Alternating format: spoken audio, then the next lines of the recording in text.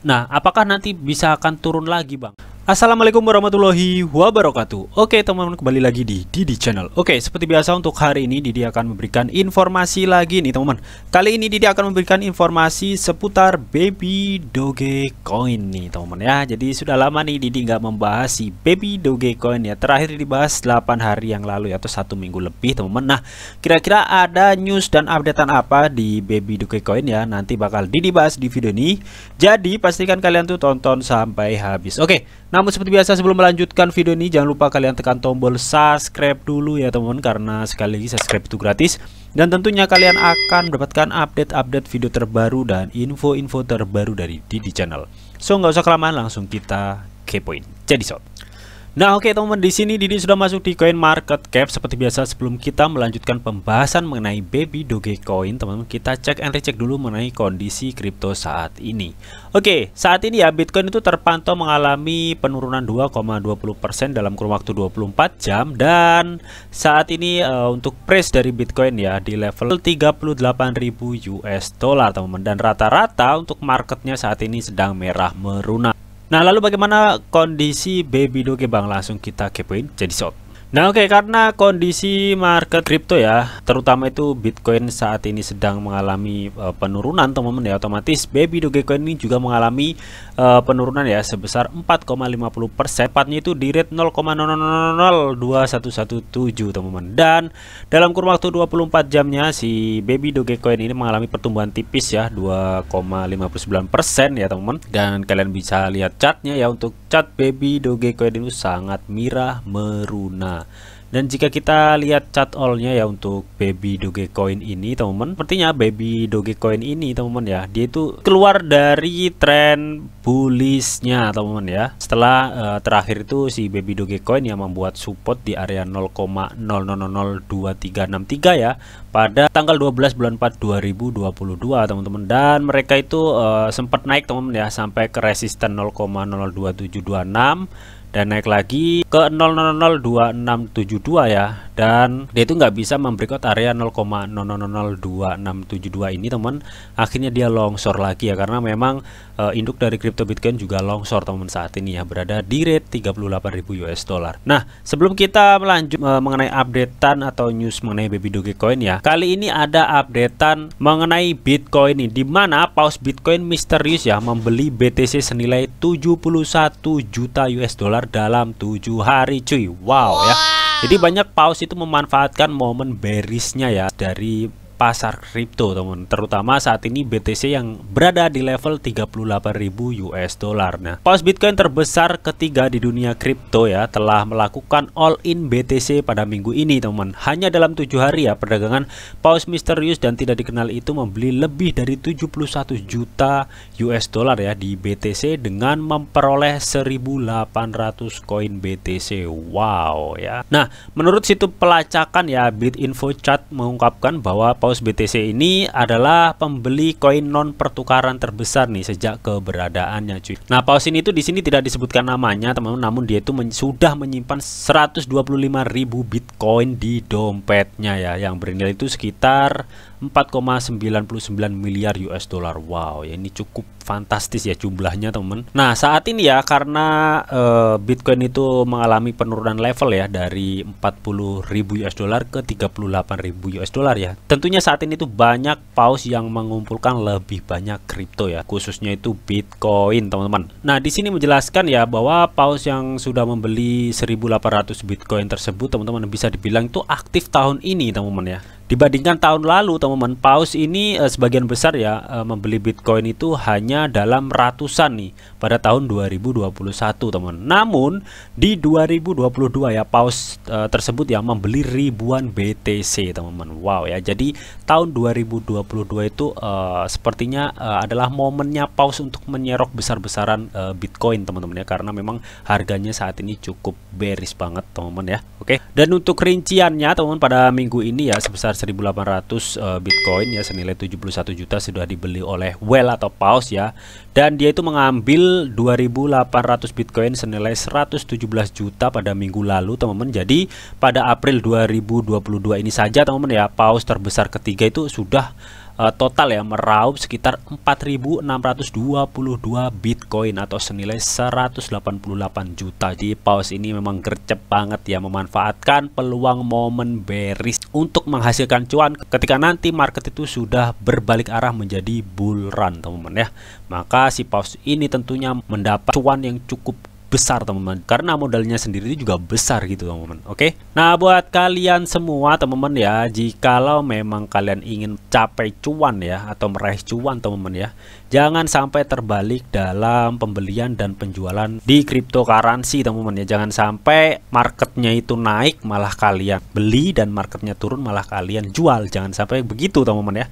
Karena rata-rata memang begitu teman-teman khususnya untuk para pemula teman-teman ya. Dan seharusnya ya ketika market bearish ya kalian itu harus serok lah dikit-dikit teman. Jangan sampai all in ya. Kalian juga harus memperhatikan manajemen keuangan kalian teman-teman dan kalian bisa menjualnya ketika kalian sudah opit ya atau ketika market sudah berbalik bunran. Nah, dan namun kalian harus wajib do you want reset juga teman-teman ya. Oke. Nah, di sini uh, menurut analis kripto terkemuka ya Benjamin Cohen teman-teman, dia itu menjelaskan kepada 750.000 pelanggannya di YouTube nih bahwa aktivitas uh, pause Bitcoin ya telah bermunculan nih setelah kripto turun di bawah angka 40.000 US dollar teman-teman. Dan kita itu juga bisa melihat ya mereka itu secara berkala teman-teman menambahkan tumpukan uh, Bitcoin ya di level 40.000 dan dan di atas 30.000 US dollar. Jadi menurut analis kripto terkemuka ini teman-teman ya, paus Bitcoin ini entry di antara harga di bawah 40.000 US dollar dan di atas 30.000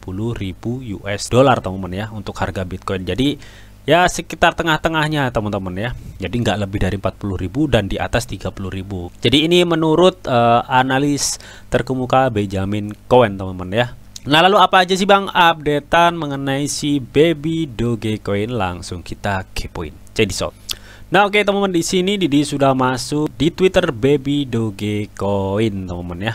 Jadi kalau kita lihat di Twitternya teman-teman belum ada updatean yang signifikan ya mengenai baby Dogecoin ya.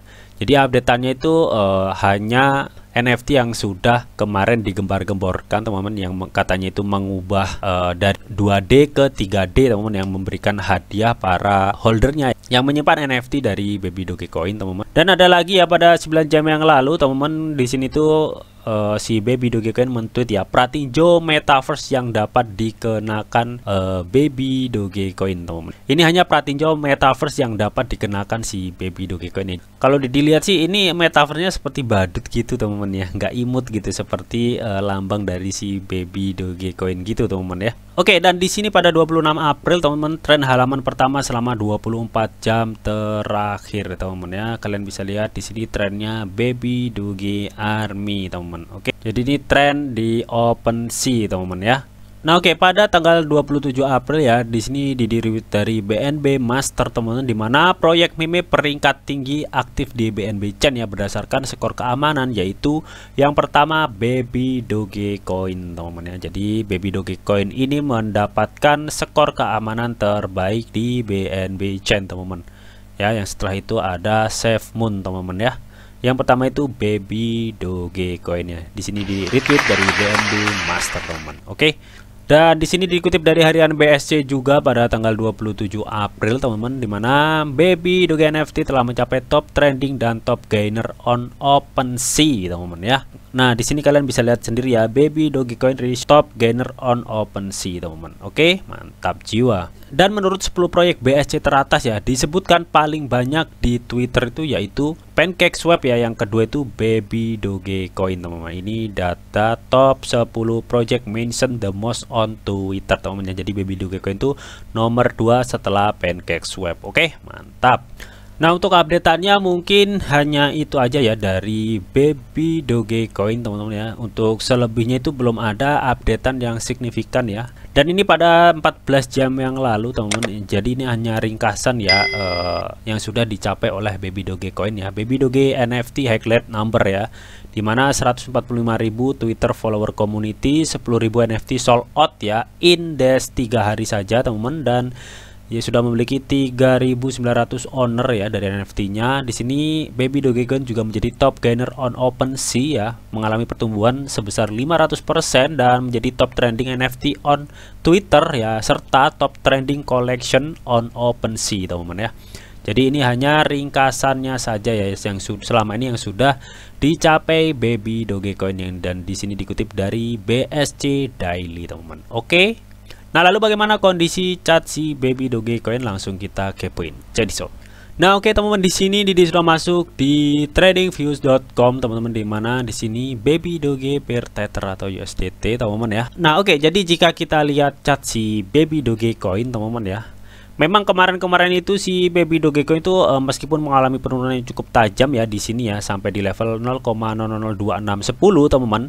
Namun di level sini teman-teman ya si Baby Dogecoin itu masih mempertahankan tren bullishnya teman. Nah, namun di sini juga teman-teman ya si Baby Dogecoin itu sempat jatuh nih teman-teman ya uh, ke support 0,001720 teman. Dan dia itu membuat support terbaru keduanya di area 0,002143 dan dia itu berhasil naik lagi sampai ke level 0,00025 teman ya Nah, jika kita lihat di sini teman-teman ya, dia itu sudah membentuk lower hack 2 teman-teman ya. Di sini ya ada uh, jarum lilin dua lah di sini teman-teman ya. Di sini dan di sini teman-teman. Nah, ini menandakan akan adanya penurunan ya karena memang dia itu tidak uh, bisa ya atau berat banget untuk membreakout area 0,002594 ini teman-teman ya. Alhasil uh, si Baby Dogecoin itu mengalami penurunan. Dan saat ini teman-teman ya si Baby Dogecoin itu sudah keluar dari tren bullishnya teman-teman ya karena memang untuk saat ini ya market Bitcoin juga belum stabil teman-teman ya. Dan si Bitcoin juga setelah kemarin itu uh, sempat ke resisten terbaru ke 45.000 US dollar ya. Dan saat ini juga turun lagi teman-teman uh, ke 39 kemarin dan saat ini ke 38.000 US dollar ya. Otomatis hal ini menyebabkan semua altcoin dan crypto meme juga mengalami penurunan teman-teman Oke jadi di sini kita cek di Fibonacci teman-teman ya Nah oke okay, jadi di sini teman-teman ya Baby Dogecoin itu masih ada potensi penurunan ya teman-teman ya di area sekitar 0,000011623 teman-teman. Nah apakah nanti bisa akan turun lagi bang? Bisa saja teman-teman ya karena memang uh, market Bitcoin saat ini memang belum stabil dan ekonomi global uh, juga belum stabil adanya perang juga teman-teman yang nggak usai-usai ini bahkan mau nuklir-nukliran nih teman-teman. Wadaw ya. Nah, ada potensi uh, ekonomi global itu akan gonjang-ganjing ya dan itu akan berdampak pada market cryptocurrency yang gak menutup kemungkinan Bitcoin itu bisa turun lagi, teman-teman ya. Nah, anggaplah kita mengambil kemungkinan terburuknya, teman-teman ya. Ketika Bitcoin nantinya akan turun lagi, ya, ada kemungkinan si Baby Dogecoin itu juga akan e, mengalami penurunan sampai di sini nih teman-teman ya. Kalau misalkan nih Bitcoin masih tetap lanjut akan turun teman-teman. Nah oke, okay, jadi jika kita melihat chartnya saat ini ya, ada kemungkinan si Baby Dogecoin itu masih akan mengalami penurunan hingga ke level 0,001654 ya. Nah Ketika nantinya si BTC masih akan terus terjun teman-teman Ada kemungkinan juga si Baby Dogecoin itu bahkan akan menyentuh ke level 0,001329 teman-teman ya. Oke jadi kalian tuh harus berhati-hati ya karena memang saat ini marketnya belum jelas gitu teman-teman ya untuk market kripto juga ekonomi dunia saat ini teman-teman ya. Oke dan kalian juga harus doyuan riset kalian masing-masing sebelum kalian memutuskan sesuatu di dalam keuangan investasi kalian. Oke namun tetap di sini tuh ada disclaimer on bahwa untuk trading dan investasi di dunia cryptocurrency itu sifatnya sangat berbahaya atau sangat-sangat beresiko tinggi teman-teman jadi, bijaklah kalian dalam mengelola atau memanajemen keuangan kalian. Semua keputusan yang kalian ambil adalah tanggung jawab kalian masing-masing. Di sini, Didi hanya memberikan informasi yang Didi tahu untuk kalian semua. Oke, mungkin itu aja yang bisa Didi sampaikan di video ini. Semoga bisa bermanfaat. Jika kalian suka video ini, jangan lupa kalian klik like, share, comment, and di subscribe teman-teman karena sekali lagi subscribe itu gratis. Dan tentunya kalian akan mendapatkan update-update video terbaru dan info-info terbaru dari Didi Channel. Oke, sampai jumpa.